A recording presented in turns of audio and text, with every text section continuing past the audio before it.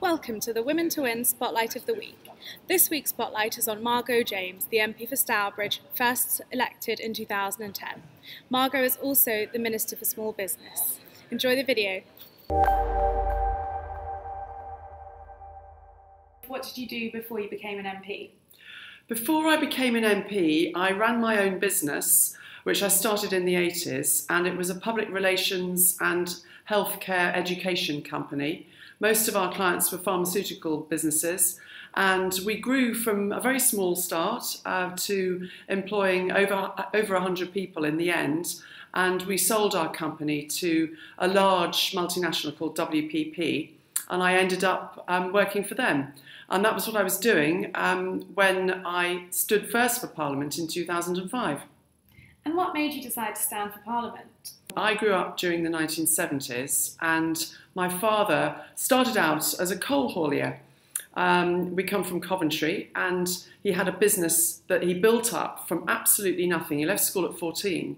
And in those days, um, the trade unions had an excessive amount of power, and they used it in a very irresponsible way.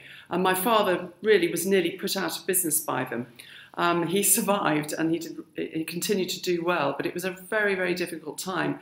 And that was at a time when the whole of the British economy was in a very, very bad way. And uh, I got very politically motivated in those days, and I took politics A level and I studied um, politics and economics at university.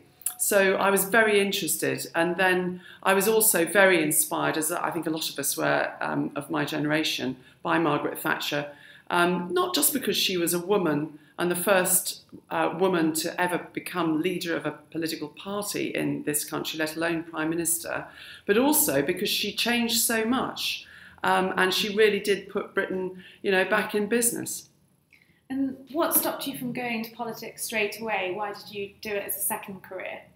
The truth is, I would probably have gone straight from university to try to get a job in Conservative Party headquarters uh, and you know come up the political route and, route and get into Westminster that way. But uh, at the time, um, it was quite impossible for anyone in a same-sex relationship to be um, adopted as a candidate to stand for election, not just by the Conservative Party, but by any major political party.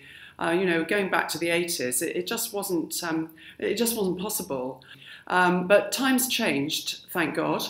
And when I came to sell my business, it was a very different time, and I decided to put myself forward. And so, how did your political journey start once you'd sold your business? Once I'd sold my business, I thought, well, I do have some time now. Although I was still working for the new owners, I did have time.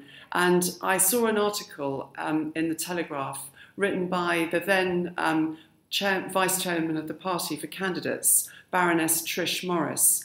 Um, who was talking about how the Conservative Party was changing, welcoming people from different walks of life, indeed embracing change and diversity. And I thought, I'm going to have a go. And I, I uh, contacted uh, Trish Morris, and she gave me so much support and help. And Women2Win were a huge help to me. By uh, around that time, I met Anne Jenkin, now Baroness Anne Jenkin, and, and she was a huge support to me, gave me so much confidence, and really gave me the impression that I could do it. I could transfer the knowledge I gained from business into politics with the right support, and I got that support from Women2Win, um, and I stood in a what was basically a safe Labour seat, but I did learn a lot through that process, and I enjoyed it.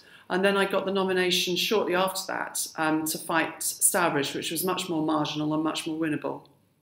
And what would your advice be to women who might come from a slightly less typical political background or who might be coming into this as a second career? Well, as someone who doesn't have, any political background, um, definitely came into it as a second career. And really, until I approached um, Baroness Morris, I had no political contacts at all. Um, I would say that you will have got lots of skills and experience which you can use in politics. That's not to say that there isn't a lot to learn, there is, but it is challenging and interesting, the learning process, and I enjoyed it very much. And I think, you know, have no hesitation in exploring the, um, the candidates list and um, seeing if you can get on. Uh, the party is really looking for people, not just with a political background. In fact, if you look at the candidates who were successfully um, elected in 2015 for the Conservative Party last year, I think I'm right in saying that only one of them had what you might call a classic political background. That, that would have been a figure like 30% 10 years ago, um, which is testimony to the fact that um, the Conservative Party is looking for people from all walks of life, all backgrounds. Um, we really have a, commit, a commitment to diversity and an inclusive approach. So please do contact us.